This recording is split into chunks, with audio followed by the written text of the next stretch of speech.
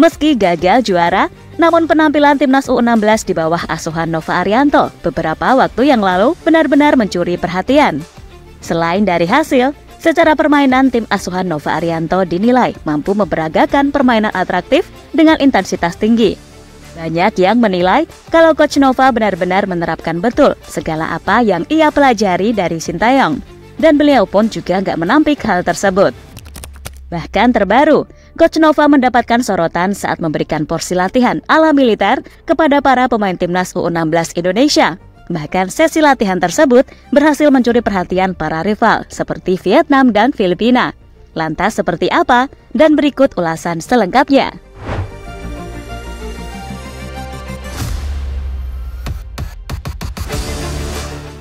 Ya, pelan namun pasti, Coach Nova Arianto mampu membuat timnas U16 menjadi tim yang baik dari hari ke hari. Ya, meski tentu saja masih banyak yang harus dibenahi, akan tetapi secara proses tim ini benar-benar menjanjikan. Di mana Coach Nova dinilai benar-benar bisa memanfaatkan kapasitas yang dimiliki pemainnya seoptimal mungkin. Ditambah metode latihannya yang dinilai sangat plek ketiplek dengan Coach Shin pada akhirnya membuat timnas U16 ini bisa main dengan intensitas tinggi sepanjang 90 menit. Dan secara hasil di Piala AFF U16 kemarin hanya menjadi peringkat ketiga. Namun secara keseluruhan tim ini sudah menampilkan hasil yang luar biasa. Terutama saat mereka menghancurkan Vietnam dengan skor 5-0 tanpa balas.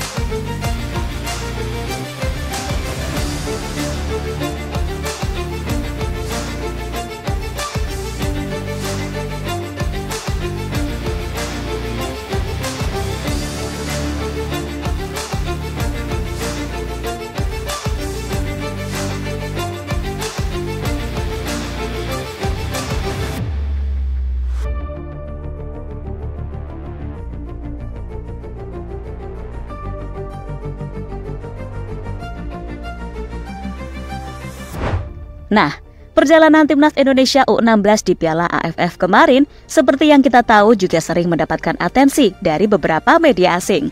Salah satunya saat mereka menyoroti sebuah potongan video yang memperlihatkan gimana galaknya Coach Nova ini di ruang ganti saat laga melawan Filipina.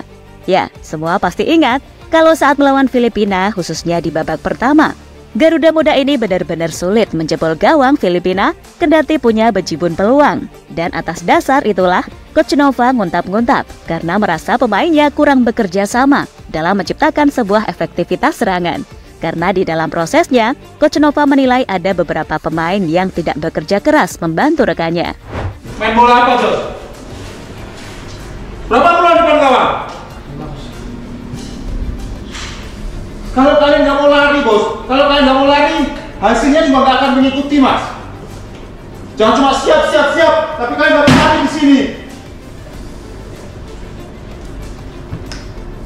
Banyak bergerak.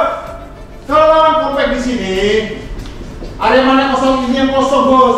Kalau Nesta terima bola, Java terima bola, nggak ada yang bergerak di sini. Gimana kita mau masuk di sini, mas? Namun tak sampai di situ saja. Aksi Nova Arianto kembali menjadi sorotan media-media di Asia Tenggara.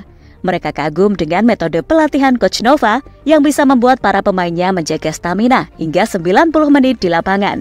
Seperti yang ditunjukkan baru-baru ini dalam pemusatan latihan di Bali untuk persiapan kualifikasi Piala Asia U17. Di mana dalam sebuah potongan video, Coach Nova tampak memberikan porsi latihan bak militer untuk anak asuhnya.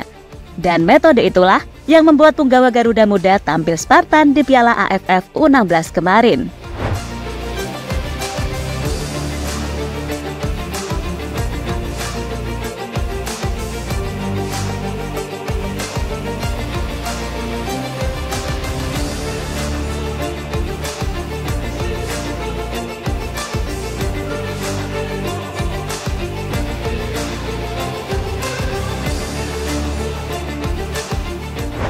Lebih lanjut, Tak sedikit yang membandingkan terkait apa yang dilakukan Coach Nova dengan apa yang dilakukan Coach Shin ketika di Piala AFF 2020. Ya, ketika itu, Coach Shin secara tegas memberi arahan kepada pemain, di mana hal itu seperti benar-benar dikopas dengan baik oleh Coach Nova, terutama untuk membentuk karakter pemain di dalam lapangan perihal pentingnya kerja sama tim. 2번과 5번, 5번. Nomor 2 sama nomor 얘는 이제 3. 와서 아마 한 20분 뒤면 힘들어 되게 Nomor 힘들어하고 2 ini baru datang juga ke sini, jadi kalau misalnya main 30 menit pasti akan capek sendiri. 5번, 8번 되게 느려. Nomor 5 sama nomor 8, mereka kecepatan tidak ada. 5번 같은 자신 치는 있지만 옆으로 툭 치면 Tinggi, memang. 돌아서지 Nomor 못해. 5 ini, tapi kalau misalnya kalian, kalian dorong sekali, dribble sekali, pasti Sasin akan dia. terlepas juga. Jadi percaya diri, gak apa-apa, main. 자, 1판. Irfan, 오케이. 자, 사이드 적극 쳐. Ke samping. 얘는. 오른쪽으로 가는 건 괜찮죠. 사이드 치는 거는 dia ke dalam, 너죠. 왼발 아예 못 쓰기 Tapi 때문에. karena dia nggak bisa pakai kaki kiri, jadi kamu main aja ke samping terus. 자, 그리고 지금 2번하고 Terus nomor 2, 5번 높이가 좋아. nomor 5 ini sangat tinggi. 우리가 줄데 없으면 딴? 공간에 때려. Kalau nggak bisa, nggak ada opsi lagi passing, Bunga ke terus depan kok. taruh aja di ruang kosong sini, 들어가는 게 훨씬 nah, 좋아. masuk aja. 수비 뒷구만 적극적 팔고. Harus agresif untuk cari ruang kosong di belakang. 자, 드리블이 우선이 아니. Father, you come. 자, 가봐. Eh, 잠깐만 와, 나요, 나요. You Sementara itu, dikutip dari TV One News, media Vietnam dan Filipina menyebut Coach Nova ini benar-benar berbeda dari pelatih timnas U16 yang lain, di mana media-media di sana menilai kalau Coach Nova adalah pelatih paling sadis.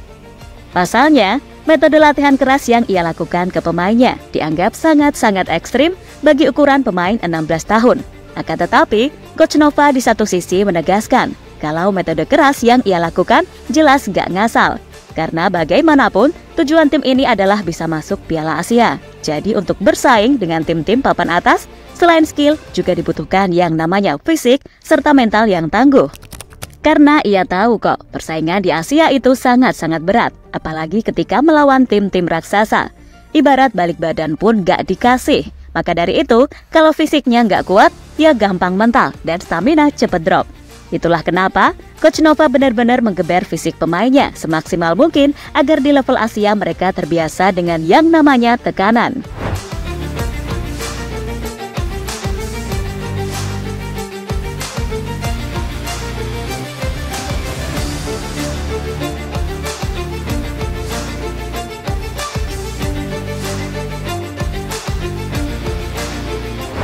Sementara itu, pelatih Australia U16 Brett Maloney mengakui kalau kekuatan timnas Indonesia U16 memang sangat merata. Dan baginya, apabila kedua tim bertemu, itu akan jadi pelajaran bagi satu sama lain. Karena nantinya, kedua tim juga akan sama-sama bermain di kualifikasi Piala Asia U17 2025 pada bulan Oktober nanti. Kemudian, ia juga mengakui kalau Indonesia sangat berpotensi menjadi ancaman nyata. Hal itu lantaran metode pelatihan secara keras yang dilakukan Coach Nova membuat mental tim ini sangat-sangat tangguh. Dan ia juga tak ragu menyebut Indonesia saat ini sangat layak jadi role model bagi tim-tim Asia Tenggara. Soal Indonesia sebagai lawan di kualifikasi AFC, kami menaruh respect besar kepada Indonesia. Saya tahu bahwa negara ini telah berinvestasi besar kepada sepak bola usia muda dan menjadi tuan rumah Piala Dunia U17 tahun lalu. Jadi, saya memahami untuk bisa memahami bahwa sepak bola sangat penting bagi negara seperti Indonesia dan mereka layak jadi contoh bagi negara-negara di kawasan Asia Tenggara.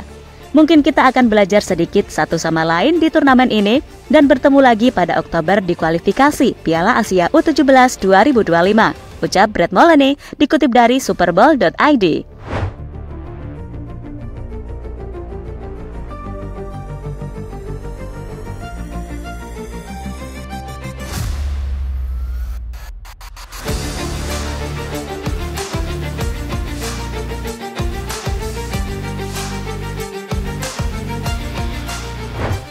Dan sekali lagi, ini adalah bagian dari proses dari para pemain muda timnas Indonesia.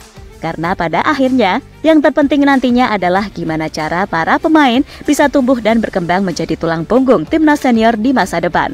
Maka dari itu, kalau mereka misal bikin kesalahan jangan dihujat, tapi support. Biar para adik-adik ini nggak kena mental lalu downgrade mainnya, oke?